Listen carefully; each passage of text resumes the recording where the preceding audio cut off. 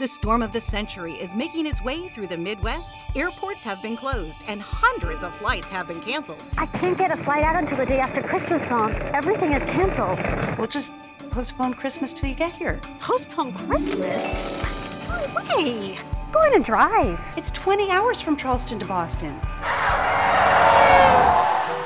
Yes, I'd like a room for the night, please. Oh, I'm sorry, but there are no more rooms available.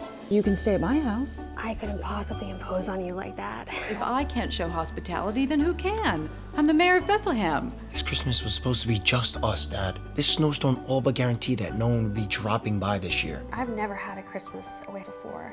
I always thought that the first time I'd be spending Christmas away from my parents would be the man I was going to marry. You're good for him. Excuse me? The way that you talk to him, I mean. He doesn't know quite what to make of you. Maybe you got stuck in Bethlehem because you were meant to meet Mass.